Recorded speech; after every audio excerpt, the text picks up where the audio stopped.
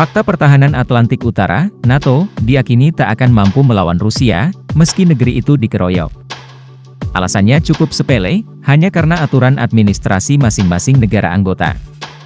Jenderal Prancis Bertrand Toujo mengatakan saat ini Rusia sangat superior dalam hal persenjataan. Vladimir Putin terus menggenjot produksi senjatanya hingga berkali-kali lipat dari sebelumnya dan itu yang disebut menjadi cara terus merebut wilayah-wilayah Ukraina. Surat kabar Barat, Politico mengabarkan, NATO akan kesulitan memindahkan persenjataannya dari anggota satu ke anggota yang lain karena masalah administrasi. Sekutu akan menghadapi masalah dengan pemindahan peralatan berat dan pasukan karena keterlambatan administratif, kata Toujo.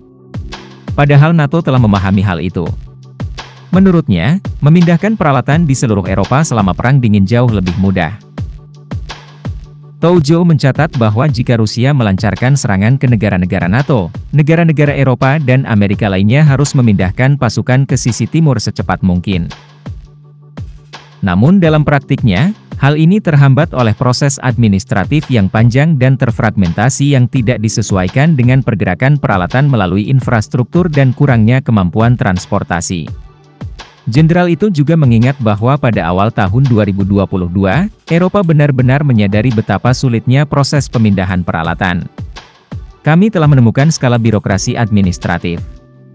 Ada perang yang sedang berlangsung di Ukraina, tetapi petugas bea cukai menjelaskan bahwa Anda tidak memiliki tonase gandar yang diperlukan dan bahwa tank Anda tidak diizinkan melintasi perbatasan Jerman, katanya.